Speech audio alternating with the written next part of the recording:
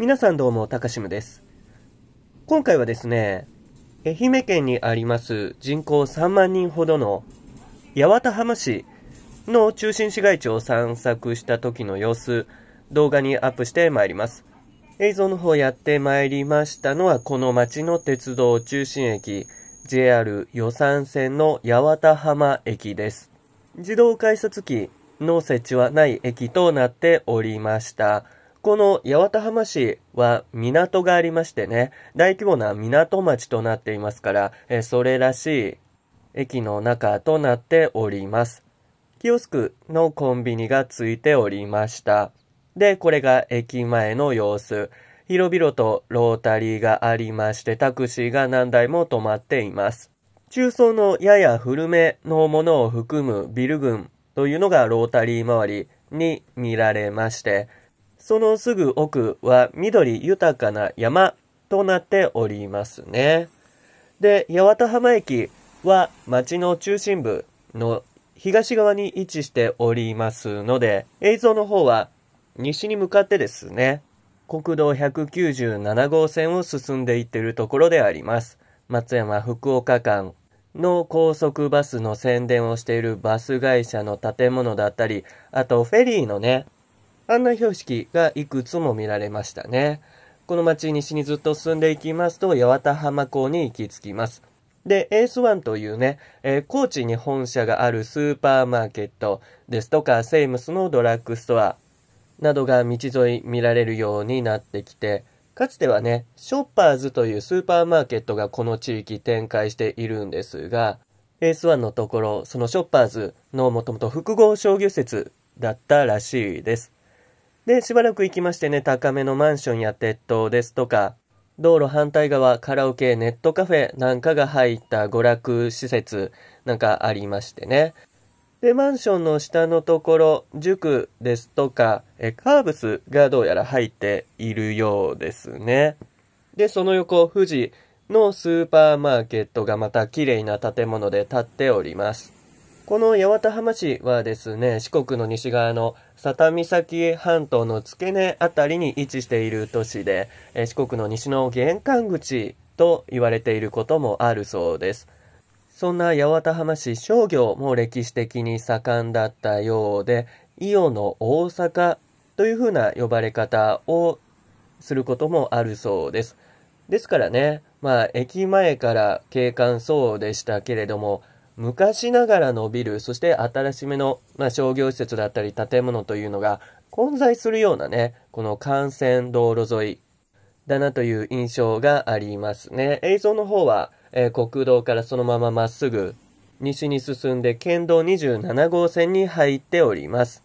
まあ、お菓子屋さん、お弁当屋さん、携帯ショップにこちらの奥に長く続いているビルの中、たくさんの飲み屋さんが見られたり、はい、こちらもね、県道沿い、ビルの中に飲み屋さんがたくさん入っているのが確認できますよね。あとはね、えー、銀行、金融系の建物ですとか、またお弁当屋さんが見られたりして、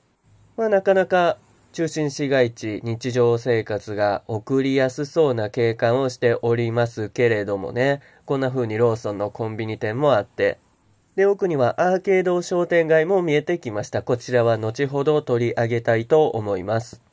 この八幡浜市の市街地ですが、もうすぐ周りはですね、山ですとか、あと西側海ですね。そうしたところに囲まれておりまして、平地というのはかなり狭いんですよね。まあ、ですから高密度にビルが立ち並ぶ景観というのが中心市街地できているわけです。で、駐車場が広めのパチスロ店があって、奥にね、スーパーホテルなんか見えておりますが、そちら側にね、入っていきます。宇和島バスというね、バス会社が見えたり。で、これから移りますホテルですね。八幡浜センチュリーホテル伊藤さんになるんですけれども、この日はこちらで宿泊をしました。高層階で泊めていただいたんですが、まあ、部屋の窓から見る景色もですね、中心部、高密度な都会だなというのがよく伝わってきまして、ホテルの横ね、閉店してしまったそのショッパーズのスーパーなんかありまして、看板が剥がれてしまっているところなんかちょっと切ない気持ちになりました。で、朝食付きのプランでね、お魚がある美味しいご飯をいただきました。会場が最上階だったと思うんですけれども、そちらから、まあ、海ですとかね、船が行き交う様子なんかを見ることができました。で、さらに映像の方は、ホテルから西側、海沿いですとかね、港周辺の様子をこれから見ていこうという、そういう流れになっております。結構市内至るところで水産物加工業の建物ですね。まあ、かまぼことかじゃこ天なんかが作られている建物などを目にすることが多かったですね。で、映像の方は港の辺りに到着したところになりますね。港のすぐ手前側にですね、道の駅と言いますか、まあ、市場というか、そういう観光の建物が固まっているところがあります。特にこの道屋市場というのがね、見どころいっぱいで、あと普通にお土産屋さんのね、建物なんかありまして、私も結構ここで買ったりしたんですが、まあ、自動販売機の方もね、充実をしております。まあ、軽く中の様子ご紹介します。やはり、柑橘系ですね。みかんとかも多く売っておりまして、あとは、やはりお魚関係の商品が多かったですね。で、市場の中もちょっと見ていきましょう。これ1日目到着しましたのが夕方、閉まる直前でしたので、このようにね、もう買い物ができる状況ではなかったんですが、2日目、にリベンジでまたね、まあ、ホテルの近くでしたから行ってみることにしました。普通にね、魚を丸々売っているところから、じゃこ天のお店も今見られましたよね。まあ、愛媛を代表する食べ物だと思います。あとは、お寿司として売っているお店なんかもありまして、今映っていた、え、お寿司のパックをですね、私この時買ったんですけれども、もうその鮮度の良さにね、かなりびっくりしました。そして今映った建物が八幡浜港港の建物と、はい、その周りですね。大分県方面にね、旅客船が出ております。で、こんな風に緑の山々が美しく見えておりますが、えそこに段々畑を作りまして、柑橘類を生産しているという、これ結構すごいことですよね。で、その市場とかあるところの広場でね、鳩さんが可愛いので眺めていましたら、餌をくれると勘違いしたのかたくさん寄ってきちゃいました。で、その横にね、その一般の方向けでないえー、卸売市場、市場があったり、その周りにね、セームスですとか、なんとこれちゃっかり映っておりますが、ショッピングセンターの、えー、富士グラン北浜というね、建物が映っております。100円ショップやドラッグストア、書店、あとエディオンの家電量販店なんかが看板並んでいまして、3万人都市と考えますと、まあもちろんね、そこまで広いわけではないんですが、結構充実した建物なんだなというふうにね、思って歩いておりました。で、先ほども言及しましたが、アーケード商店街がありまして、さっきのね、ホテルとかパチンコ店のところに出入り口あったんですが、そこから入ってきました。銀座商店街という風に書いてありましたね。この街の名物でありますちゃんぽんの自動販売機も確認できました。で、その自販機のところ、新町商店街と書いてあるんですかね。今まで東西の商店街を東に向いてきましたが、南北のアーケードが長く続いておりまして、そちらに入ってきて北に進んでいってるところに映像はなります。こんな風にね、シャッターの閉まっているお店の方が割合としては多いような感じがするんですが、営業している医療品店なんかもね、いくつか確認できまして、えお客さんというかね、通行人の方がそちらの商品を覗いて行かれるという光景も目にしました。あと、こちら薬局も営業していますね。まあ、ただですね、ちょっと商店街、アーケード街としては活気を感じづらい面というのは否定ができませんで、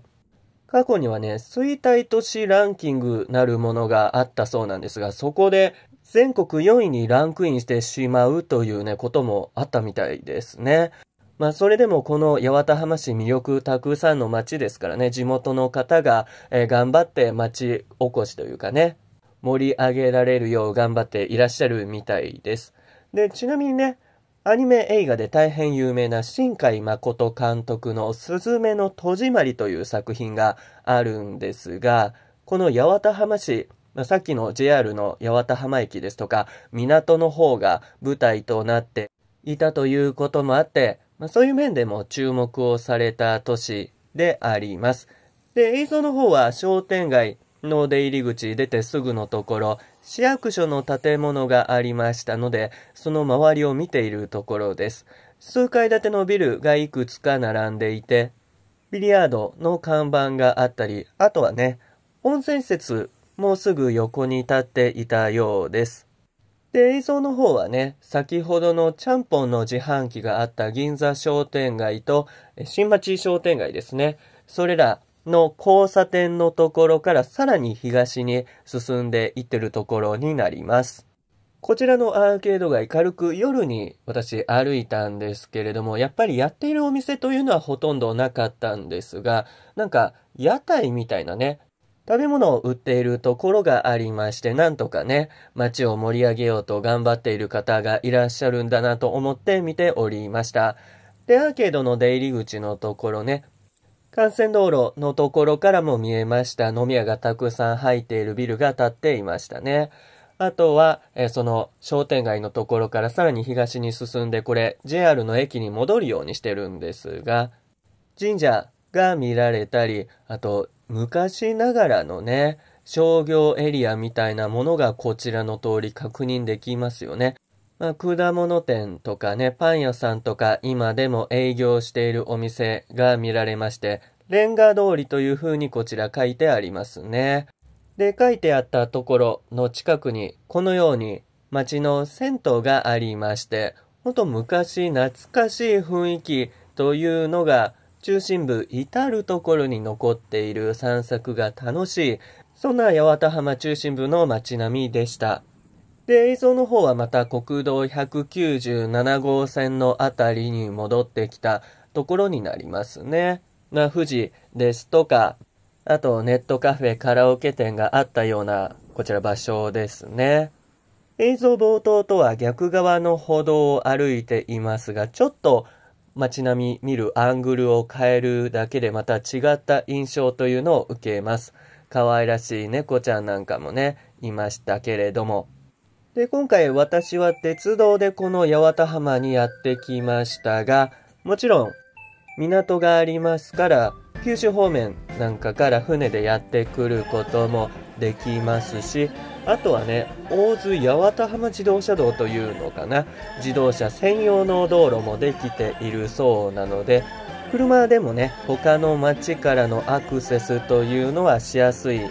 風になっているのかなと思います。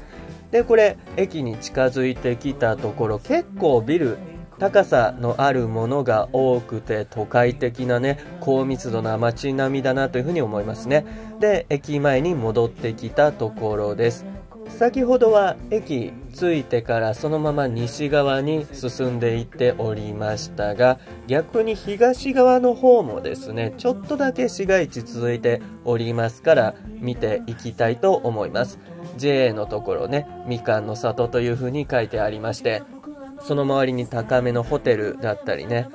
こちら倉庫らしき建築物が見えておりますが、選果場となっていますね、JA の。その奥に DCM のホームセンターが見られたり、こちらも、えカフェがあったり、いろいろと建物続いております。これをもうちょっと東に進みますと、ほとんどね、お店とか建物がない落ち着いた市街地になるかと思うんですが、それを感じさせないぐらいね、今も薬のレディーが見えまして、お店とか建物ね、多いなというふうに思わされますね。で、春屋書店ですとか、その手前に、台湾料理店があって、これがもう中心部のね、だいぶ東の端の方となっていて、えー、ローソンなんか映っていますが、その先がね、もう落ち着いたエリアになってくるようです。ということで中心部を一通り見た後に JR 八幡浜駅からこの街を離れることにしました。まあ、今回一泊して一通り八幡浜中心部を歩きましてね、まあ、昔から長く発展が続いたんだろうなという街並みでとてもワクワクする景観でしたし、あと海産物とかね、みかんなんか美味しくいただきまして、五感で魅力が感じられるとても素敵な街だなというふうに思いました。ご視聴ありがとうございました。